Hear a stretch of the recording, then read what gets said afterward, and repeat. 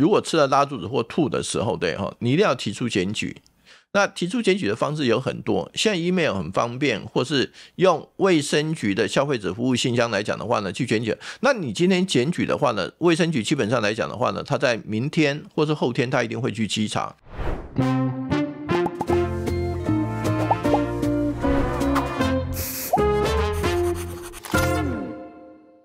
好，我是范奇斐，嗨，我是卢莎莎，欢迎收看《匪夷所思哦，这个好像也蛮久没有看到。之前有一段时间坐在这里。OK，好，那今天我们的阿姨想知道，我们是想谈谈那个石安啦。为什么会有这样一个发想？就是因为那个宝林茶室发生的事情，我想大家都觉得很震撼。而且这件事情就在苏丹红之后的没多久。对，然后就感觉上好像一直出事，一直出事这样。对。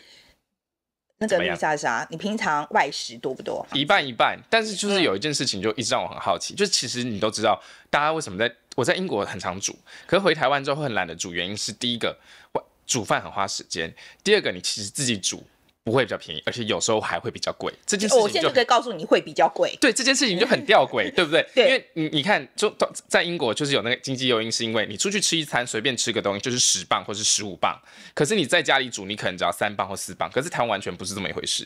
OK，可是我觉得在美国其实我们也是一样啦，我觉得应该是这样讲啦。嗯你如果好好煮的话，其实也是蛮贵的，因为你就是比如说各种食材，你可能要有机的啦，嗯哈、就是你可能觉得自己吃的嘛，可能就吃好一点，对不对没？有，但我觉得这中，我觉得这关键就在这里，为什么国外的餐厅这么贵，可是在台湾可以这么便宜？嘿好，那我现在就问你，你出去吃饭的时候，或者是买东西回来吃好了，都好了，你第一个考量的是什么？第一个好不好吃？嗯，但但是就是你所以你可以你会很注意说这是那个吃起来会不会拉肚子，很安全的。我有一件事情一直很搞不太清楚，就是我真的真的这我不太理解，这连台湾一样，就是你去餐厅，你只要进到日式的餐厅，你就会觉得很安心。可是基本上你只要走到路边摊，你就会对这件事情充满好奇，你就会觉得，比方说我随便举例哦，你是卖吃的，可是你的餐厅的那个灯上面全部都是苍蝇，或是上面会有很多灰尘，这个东西我就很不能理解，就是你是可是生意还是很好。对生意很好，然后大家都吃，而且好像都没事，所以你就跟着一起吃，对，好，我承认我就是属于那一种，是不是？不会特特别注意，呃，餐厅是不是很干净哦，或者是厨房是很干净。我真的很在这方面，我我我我常常就是。我就是吃好不好吃，然后价钱对不对？我通常就是这两个。嗯好，那你有没有拉肚子？会，而且我很我是很会拉肚子的好，那好，来来来，再来。拉完肚子的时候，你是想的是我自己肚子不，我自己肠胃不好，还是觉得是餐厅卫生有问题？百分之九十的时候，我都觉得是我自己肠胃不好。OK，可是可是有些时候实在是太严重，我就会问跟我一起去吃的人会不会也有问题。那如果我跟我去吃的人也有问题，那当然就餐厅不好啦。那你们会有做什么事情吗？不会，呃，对，这就这就问题就来了。所以这一次我们就这因为这件事情呢，我们就请到这个食安专家，就是这个大家都说这个食安界的权威啊，就是这个文长安文老师。文老师之前就在食药署其实工作，他的工作之一其实他就是食品稽查员。大家不知道，其实餐厅是要被稽查的，但就是有这件事情。他在这边那边工作了二十五年，然后其实也走访了上万间的这个餐厅，所以我今天就是想借这个机会来问一下文老师，到底是我们关于食安的这个教育，还有为什么从小到大就不断的有食品安全的事件一直跑出来，这件事情是怎么发生的？然后范范姐你会想知道什么？我最想知道其实是就是我们餐厅一般来讲，呃，职业道德好不好？因为我觉得我们消费者，我说实在，我觉得他表面上看起来很干净好了，嗯你怎么知道厨房长怎么样子、嗯 r i g h t 所以我觉得我想要知道，就是我们台湾的餐厅一般来讲，我今天去吃吃饭，卫生上来讲，就踩到雷的机会高不高？然后呃，我们一般业者对于其实稽查的这个配合度怎么样？我要讲就是说。我的朋友在美国开餐馆，哦，哦，他们也有稽查嘛，而且他们在门口放一个很大的牌子，嗯就是比如说你要是呃清呃卫生很好的，他就是给你个 A。OK 啊、那 B 就差一点嘛，好 OK，C 等就很差这样子。OK 我朋友就跟我讲说，他那时候开一个餐厅，他第一次来检查的时候，他就他应该是拿到一个。他可能是拿了一个 C 等吧，我忘记了。总而言之是，他说他的生意是明显掉了一半，哦，你说他的降，他被降平了，他被降了以后，他就他生意就掉了一半，所以他就很积极的赶快整个大修，什么整整理啊什么的，让他然后千拜托万拜托那个稽查员再回来再稽查，嗯，然后才再拿到 A 这样。我意思是说，在我在美国，呃，就是我我那时候是在纽约啦，他们其实对于这个卫生这件事情，餐厅对于卫生这件，一般有有的是政府，因为当然法规有规定，那另外一方面是显然顾客也在乎啊，对不对？所以是有很明显的差距的，所以我也想要知道说。在台湾，我们有没有类似的制度？然后 有啦有啦，文老师他们其实就是有慈安稽查员啦。总而言之，我就是说，我觉得我消费者当然负一部分责任，但也只是一部分吧。那其他的，比如说业者啦，或政府做了怎么样这样子？那接下来呢，在看文强安怎么说之前啊，我们先看我最喜欢看的就是我们的干爹。母亲节就要到了，大家会送妈妈什么礼物呢？我们又再一次跟 Neo Flame 合作。那上一次我自己使用的是粉色这个 Fika 系列嘛，哈，锅子轻巧不粘锅方面，我跟我老公萝卜头都蛮满意的。这次团购有新的 Bella Pink 系列的铸造锅，嘿嘿，我我是颜值控啦，所以这一款真的是蛮满意的。尤其这个双耳汤锅的弧形握把哦，我觉得就很有时尚感。还有其他单柄锅具、圆润手柄呢，是有人体工学设计的。又更加好用、好拿、好使用。那这一次 New Flame 呢，也给粉一的观众很多的优惠，而且下单就会送圆形陶瓷保鲜盒。前五十名下单买一千五百元的人，可以获得粉一的早鸟礼。五月一号到五月十二号下单就可以加购超优惠的商品。如果有买锅需求的朋友，欢迎到我们的影片资讯栏看更多的团购资讯。感谢 New Flame 支持我们做更好的节目。我们回正片吧。老师，我们先谈一谈哦。我觉得这个。我想先问问，就是说，你觉得我们台湾人一般来讲啦，哈，对于食安的这个意识高不高？还是大家就是还是说，反正不干不净，吃了没病？我觉得目前我们国内的消费者比较重视的是四个字，叫“修个短望”。所以这个餐厅只要做的好吃、好看，价钱又合理的话，是它主要消费的第一条件。所以他们对安全来讲，其实大家对于安全来讲是比较次要的，但是不是摆第一的。OK OK，我以前一直都觉得说应该算蛮安全的吧，我就我觉得这个这个就只是大家都是体感嘛哦，那就是说那可是像我们研究人就觉得说他他觉得很不安全这样子，大家各自凭自己的直觉去判断这样。可是我觉得是在出了这个宝林茶室的事情之后，我自己是蛮震惊的，因为就是说我觉得平常。真的了不起，就吃了拉拉肚子而已嘛，这是出了人命了。那宝林茶室这一次这个事情到底算不算个案，还是说您从从你角度来看，这其实显示是我们这史案就是有一个很大的漏洞。我个人觉得宝林茶室这个应该是个个案。宝林茶室它主要的缺憾就是它摆在工作台上面摆太久了，所以离开冰箱太久了。那之前它这个原料可能还有一点变质，所以才会发生这种遗憾的事。嗯嗯，可是我觉得在如果说我们去看危机的话，我们其实我有个数据啦哦，就是说两千年之后，其实台湾有一百六十六起大大小小的这个食安事件，平均一年就有七件七件这么多这样子，而且这只是危机上列出来的。说实在，很多时候我觉得我们大家根本。可能根本没有反应，所以就就是说吃了拉拉肚子嘛，吃吃药也就算了，或者是去看看医生也就算了。那我我觉得就是说，以您自己在这个第一线的的看法，台湾的食品安全到底呃算不算安全？我所认为的食品安全是急性食品中毒跟慢性食品中毒两个必须要并重，也就是说两个必须在一个均衡点上面。那急性食品中毒，我们常看到的就是吃了会吐会拉。那慢性食品中毒就是会产生一些慢性病或者癌症之类的。可是慢性食品中毒很难在短时间之内看得到。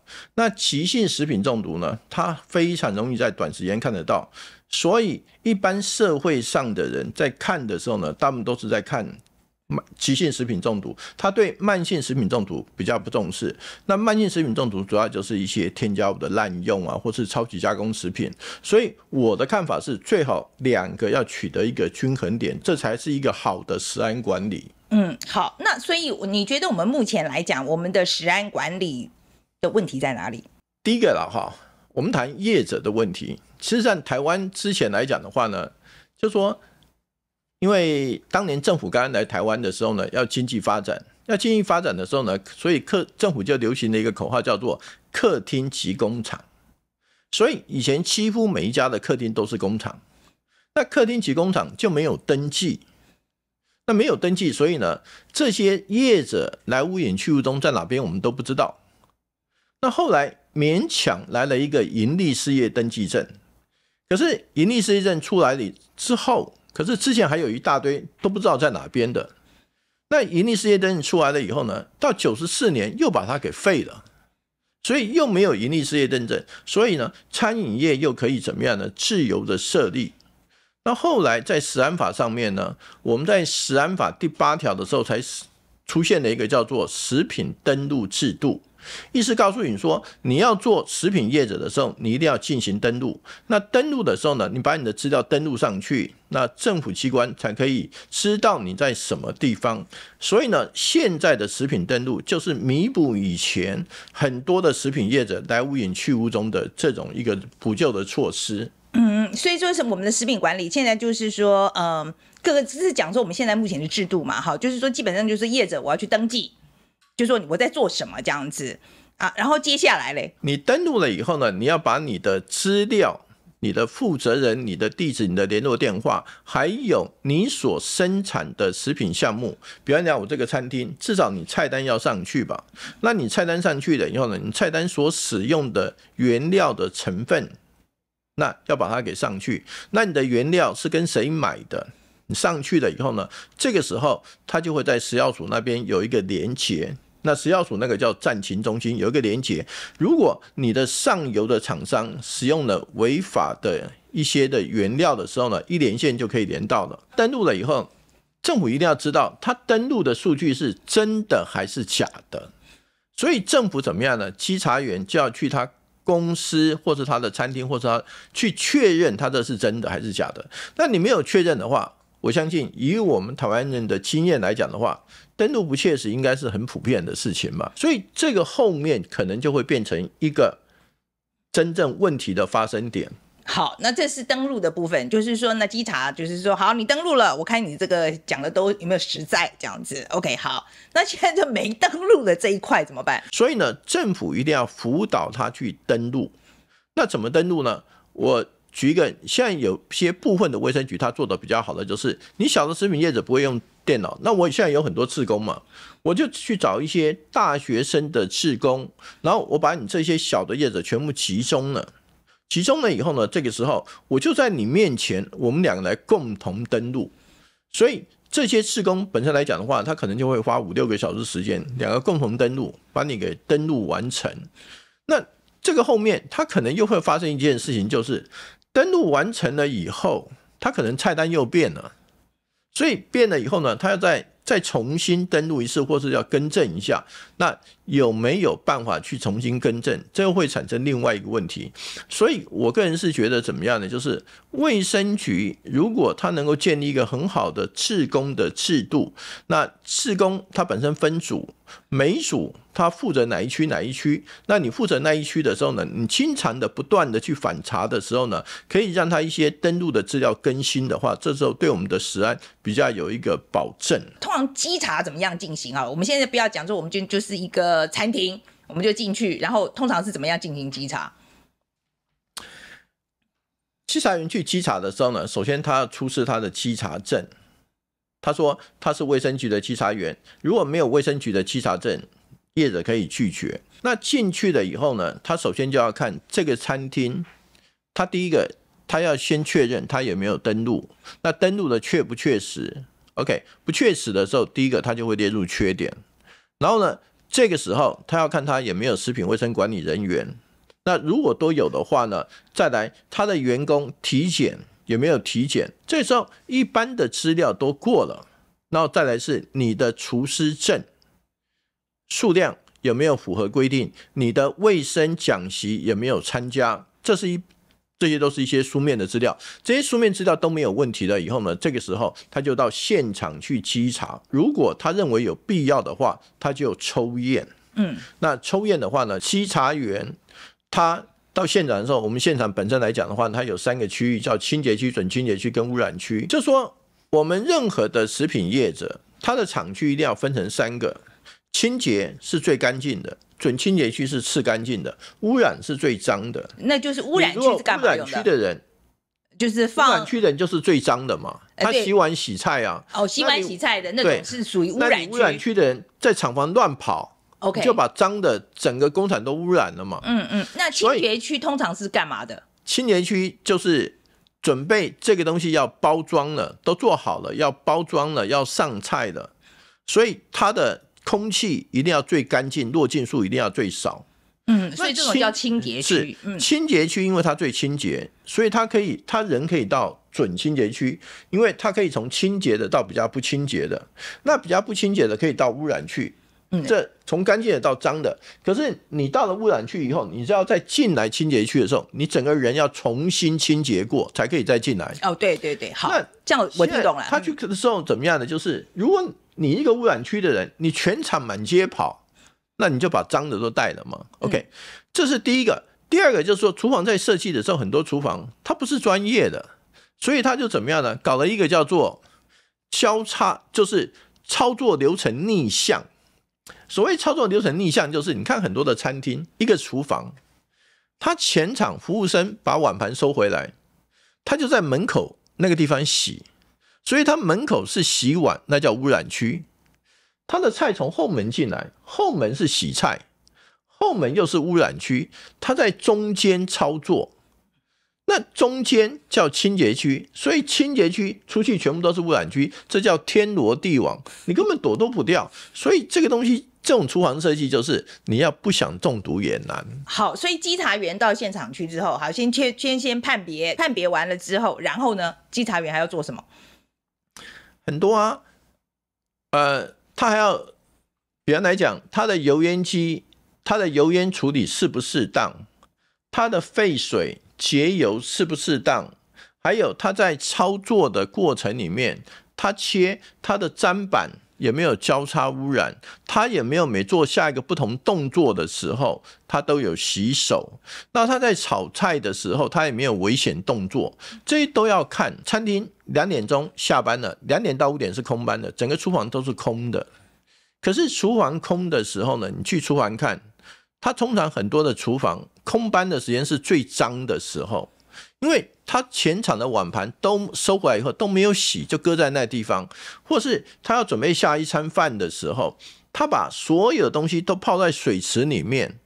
那泡在水池里面去解冻或干什么，造成很严重的交叉污染。所以两点到五点空班的时候，这个时候呢最脏的时候，你去稽查，去稽查之前要先通知他们吗？说我今天要来稽查了，还是说都是突击的？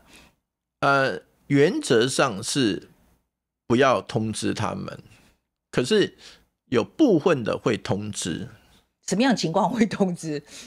就是因为人在久了以后呢，都会都会就是。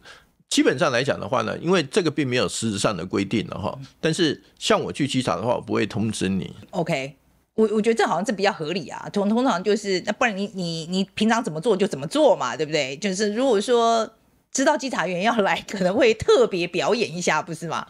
通常会，呃，我觉得这人之常情吧，基本上他知道你今天来的话呢，他昨天会稍微整理一下嘛，对不对？至呃少什么大扫除一下啊，什么之类的，对对不对？对所以我觉得应该是不要通知比较合理嘛。哈当然所以这稽查的话，它的呃有没有什么优先顺序？那有是有登记的才稽查，那没有登记的，像小吃店那种稽不稽查？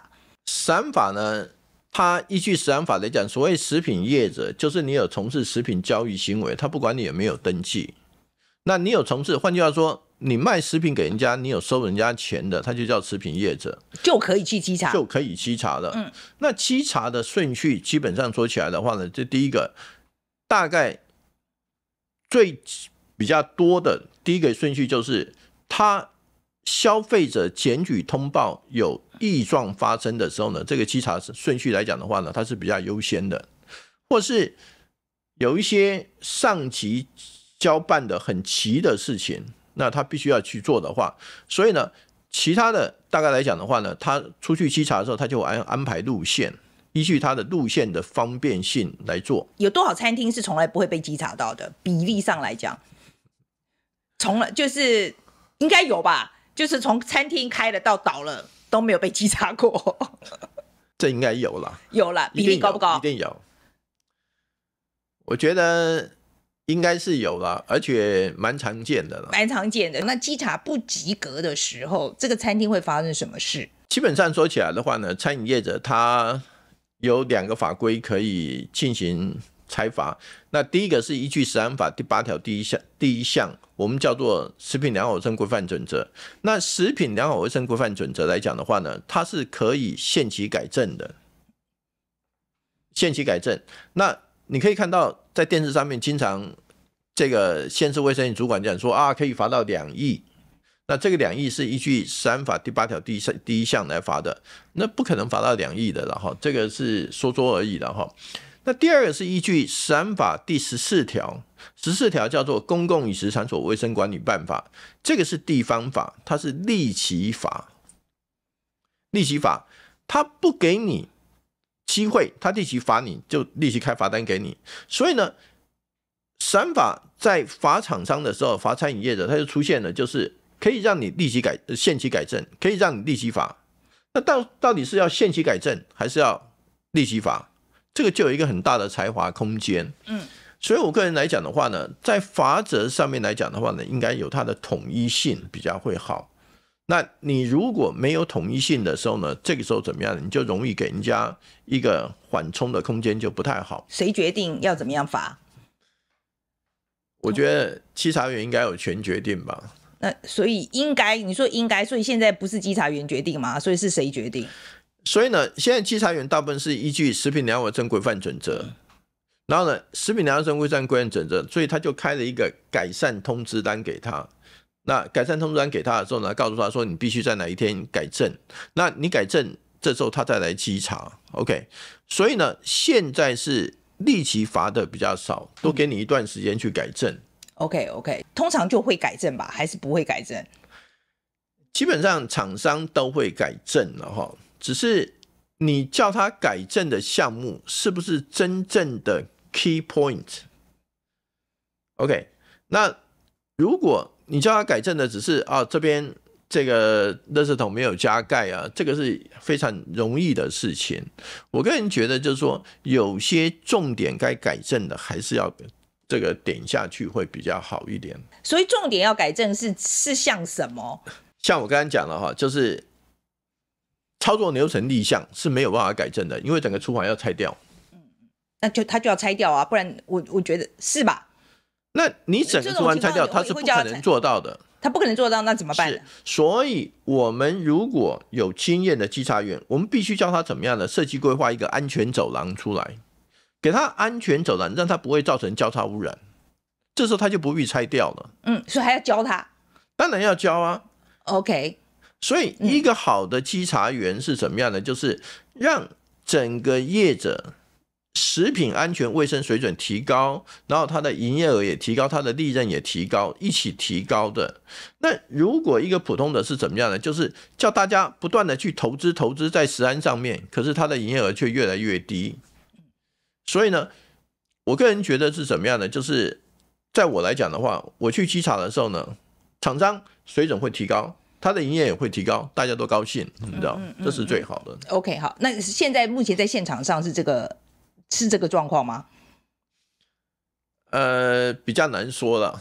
哦，OK，我们再看，就是说，呃，这个台中市主计处他在二零二零年出具一个市政报告，他就讲说，他说，哦，他当年稽查了六千八百间店，但是其实台中市食品业数量高达八万八千多家，很平均十多年他才会稽查到一次。那台北市其实类似状况差不多，他是六十三个稽查员要查六万一千多家的这个食品业者，所以其实。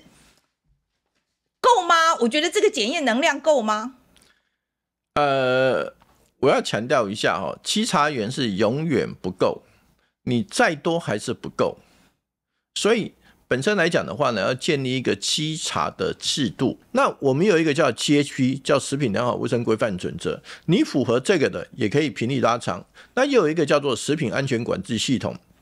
那再来还有一些优良标章的，像农委会有 CS。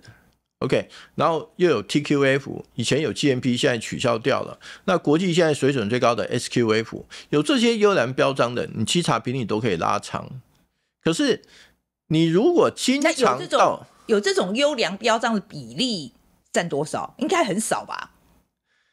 这个像我们的 GHP 叫食品良好卫生规范准则的，在台湾来讲的话，就有两万多家，全台两万多，家，两万多家，这个时候你的稽查频率就可以拉长。嗯，那 HACCP 它目前来讲的话呢，也将近数千家的，所以稽查频率都可以拉长。OK，如果这些比较算优良的业者，你的稽查频率很集中的话，那就表示你偷懒嘛，你只是想挑好吃的去做嘛，这样不可以这个样子的。训练稽查人员的时候，呃，通常他们要上什么课吗？或者是说他们的养成是怎么样的？稽查员的教育训练，第一种就是发生重大案件的时候呢，他可能要做一些简单的教育训练，那再来就是一个 routine 的教育训练。你刚刚一直在强调说，这个稽查员本身的程度很重要，所以我们普遍来讲，程度好不好？稽查员是这样子啊，哈，现在约聘的都是专业科系毕业的。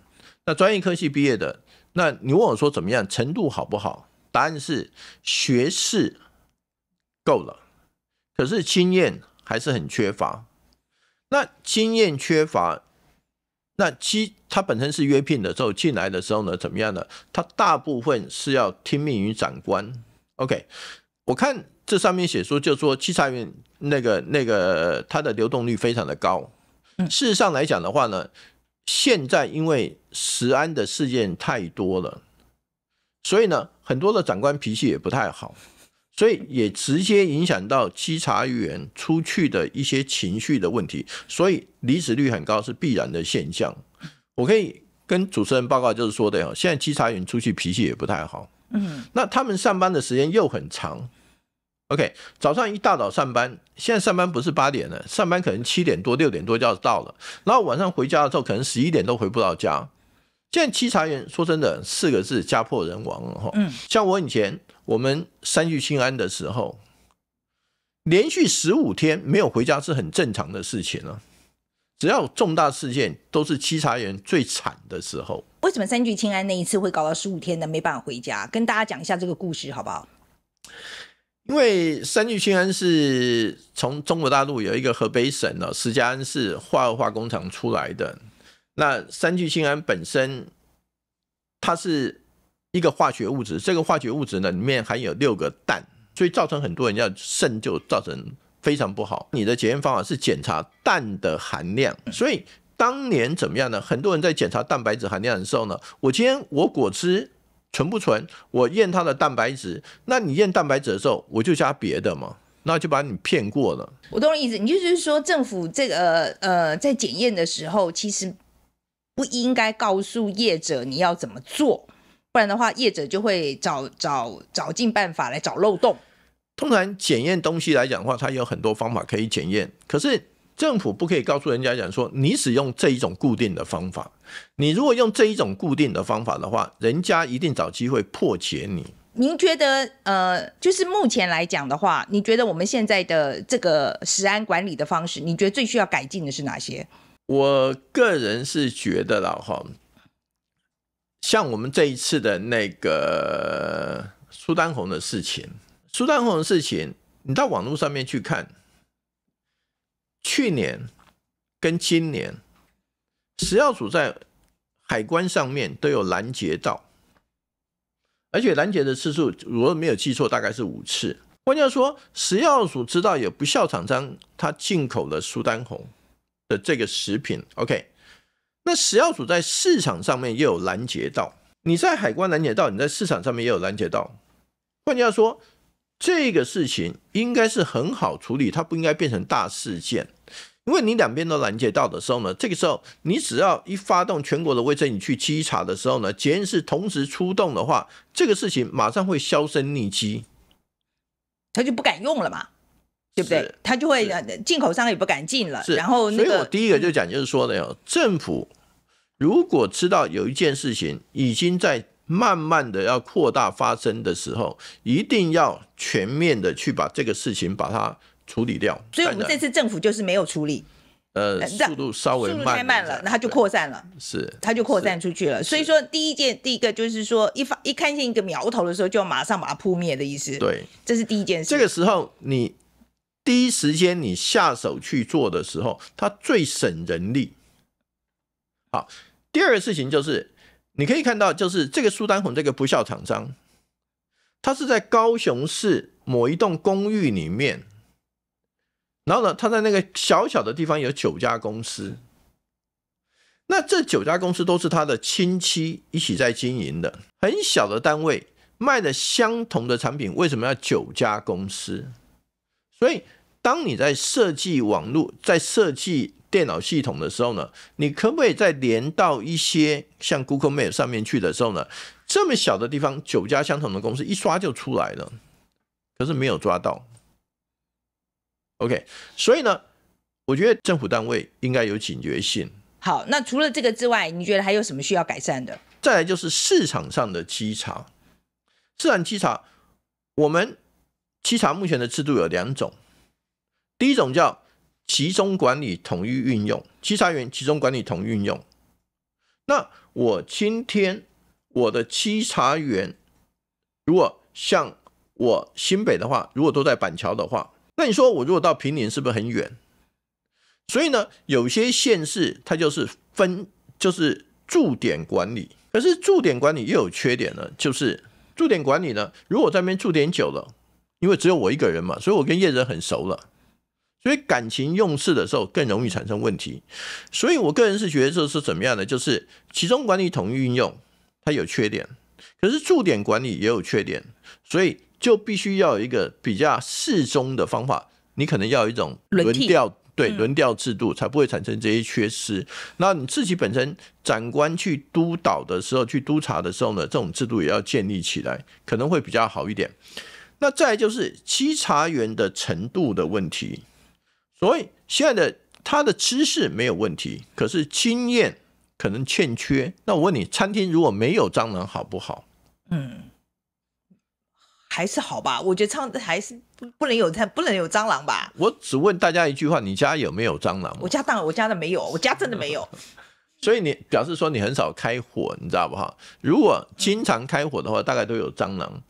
蟑螂是一种很容易生存的生物，你知道吧哈？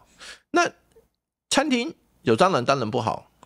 我这样讲，餐厅有蟑螂不对，可是餐厅有蟑螂没有蟑螂可能更是不对，因为它可能加了一些不该加的东西。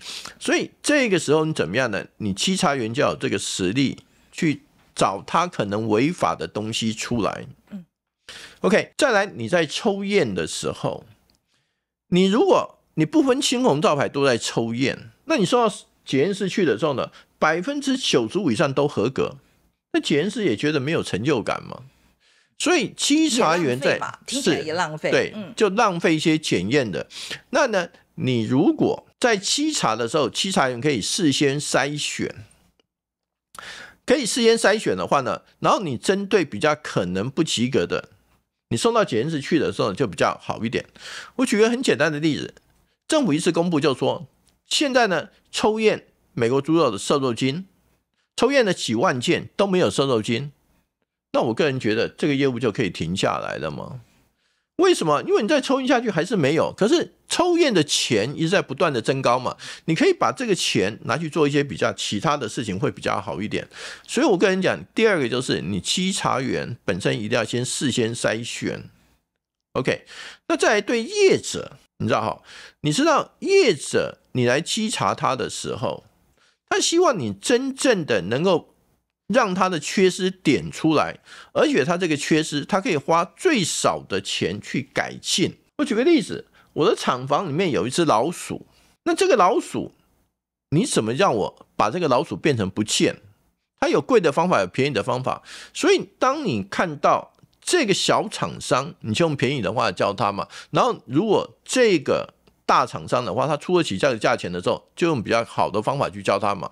所以个人来讲的话呢，就是说你必须让厂商用最合理的投资资本额去得到最大的回收报酬益。这时候你再去教他的时候，他才觉得比较高兴一点嘛。可是我的问题就是说，为什么稽查员要负责教业者？这个是他的义务，还是他是呃是怎么讲额外做的事？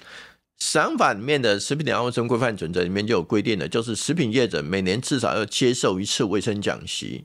那如果是厨师的话，他每年至少要接受八小时的卫生讲习。所以呢，这个是法规上面的规定。那为什么会这个样子呢？答案就是因为很多的东西都是新的嘛，像今年的苏丹红、班克列酸都是新的，所以今年他们来参加卫生讲习的时候，这些都会列上。列上了以后，你就知道防治的方法，你以后就不会再有这些缺失出来。可是你如果没有这个样子的话，他以后都会都会产生一种。这种隐忧的危险出来，嗯嗯，那商法有非常明确的规定。老师，你从你的经验来看，你觉得我们业者普遍来讲，呃，有没有良心？哎，我我我我跟你讲，我真的觉得这个东西很重要，因为我觉得一个行业里面普遍大家如果都有职业道德的话，他的第一个我们不用花那么多力气去做稽查、做 inspection 这样子，就是他的基本的这个职业道德是高的，整个产业来讲。是高的的话，就不用那那么花多的力气。是，可是我现在用着你的经验来讲，你觉得我们的我们的业者一般来讲，这个职业道德高不高？我只举个例子来讲哈，我做一个餐厅的，我如果厨师吃槟榔，您知道，厨师最重要的就是味觉。那吃槟榔以后，它的石灰。他的老藤把他的味觉给破坏掉了。那厨师没有味觉，就等于军人没有第二生命。那厨师没有味觉了以后，他用天然的调味料，他会觉得很淡味，所以他一定用化学的调味料。可是化学调味料就很伤人，所以我不必厨师讲说他有没有良心，我只要看到他嚼槟榔，我就知道他不适合这个行业。再举个例子。我今天到一个工厂里面去，这工厂整个蒸汽到处都是。你知道，病原菌最喜欢的就是高热高湿。很多的工厂，它的二重腐，它的二重釜，这个二重釜呢，它在排水系统的时候，它没有适当的排水系统。那二重釜是一个高温高压水，一排出来的时候，这个时候全场都是水蒸气。那全场都是水蒸气的时候，他在讲他有道德，那都是骗人的。感觉上好像没有良心，无良业者蛮多的。呃，这个我不好意思去做评论啦，你知道哈。但是我自己本身来讲的话呢，我去一个食品工厂，我可以跟你讲了，就是我三分钟我就可以看出他有没有良心。嗯，比例高不高？我我讲我我是真的要讲，我真的觉得，我觉得普遍上来讲，就是我们无良业者到底多不多？呃，老师，你迟疑这么久，就让我觉得很很严重。没有啦，我我特别强调就是哈，呃，一般的食品业者大概都会有两种了哈。第一种就是就是比较道德的了，那第二个就是比较就是比较入味的，比较入味的，它会比较入味，就是好看、好吃又便宜的那种。哦，OK。所以像我如果卖这个东西的话，一个。它会有一部分是天然的，那一部分来讲的话呢，是属于叫做 ultra processed food，你知道超级加工食品之类的。所以呢，这个时候我们在所看的时候呢，就是说，你就尽量叫他不要去做这些对身体比较健康、健康不好的东西了。嗯，好，老师，我觉得这样子，那我我我觉得我们消费者可以做什么好了，就是说我们。如果我们没有，我们也呃，我觉得靠稽查好像也不计不切实际，OK？因为我们稽查人员也不够，然后量能也不够，然后经验也不够，然后呃，这个业者看起来要靠他们职业道德也不靠谱，所以我觉得我们消费者可以做什么？如果在一般食品上来讲的话，我觉得我们可以用最简单的经验来做判断。如果是到一个餐厅去吃饭，我先在这餐厅四周先走一下，如果这个餐厅他在操作什么的都在室外的话，你要知道室外你的老鼠什么的都去除不掉，所以这个再好都是骗人的。这第一个，在四周走一下，所以你可以看到很多的餐厅就是在外面洗菜洗碗啊或干什么的，这个餐厅就不要去了。第二个呢，餐厅我们常常可以看到餐厅写的一个叫做“闻香下马”，所谓香，你在屋外闻到的香味。就代表这个餐厅的气流已经乱了。那餐厅的油烟不会乱跑的，怎么会闻香下马嘛？这闻香下马就是一个骗人的名词嘛。就表示它的油烟处理这个都有问题，这样子。是，再来，你到这个餐厅四周走一圈的时候，你看它的水沟，它的水沟如果它的水沟根本没有节油设施的话，水沟怎么样？全部都堵死了，或是这个餐厅它把排油烟的进了水沟里面。他没有经过处理，他直接爬到水沟里面去。爬到水沟里面去的时候呢，这时候他以为都看不到。可是油烟进入水沟以后，因为温度降低，所以那个油会凝结，凝结以后就挂在水沟壁上面。那越挂越多的时候呢，这时候台风天的时候呢，这时候四周都开始积水了。这种餐厅根本就是属于一种不道德性的行为，所以。不要去助长这种不好的餐厅。我刚才讲很简单的去分析一下，OK？那食品厂的话，我都跟民众讲一句非常简单的话，就是当你看到一个添加物上面有出现酸，酸那个酸那个字出现三次以上，你这种食品就要减少使用。嗯，因为你在大量使用的时候呢，虽然是好吃。可是它对你的身体慢慢会产生一些慢性病出来。老师，你就是这几十年下来，你觉得台我们台湾的这个食安的情况有没有改进，还是在走下坡？我个人觉得了哈，食安法第一个有很大的讨论空间，所以呢，食安法一定要是一个无漏法。可是，如果食安法有很多漏的话，有很多漏洞的话，那就不太妥当。可是，老师，你还是没有回答我的问题，就是说我们的食安的情况，你觉得是呃，这几十年下来，你觉得我们有改善吗？还是有恶化？我刚才讲，第一个是法规的问题了哈。嗯，所以你你觉得我们法规设的不好？可是你每次这样讲的时候，我都会会往坏的地方想。我这直接下一个结论就是说，你都是不好意思讲，可是就是其实就是恶化。我是觉得。食安法基本上是因为我们在立法的时候，我们常讲说，你的执法绝对不可以逾越母法。那执法逾越母法的话，执法无效。可是这个规定有没有彻底执行？那目前来讲的话呢，执法逾越母法，执法仍然在执行。可是执法过度解释母法。